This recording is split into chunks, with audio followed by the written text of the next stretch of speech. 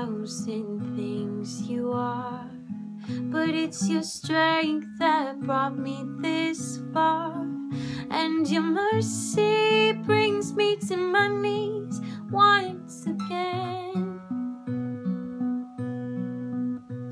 There's not much I can say, but to marvel in your ways. And you hold me close, though you know the depths of my heart. And I am amazed that you want me, that you call me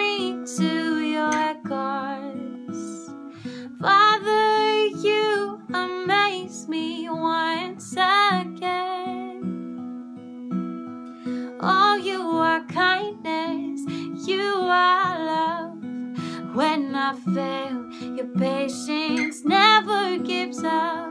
Father, you amaze me once again.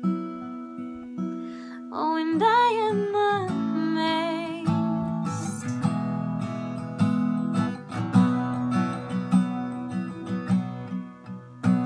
Because of my misdeeds, you bled and died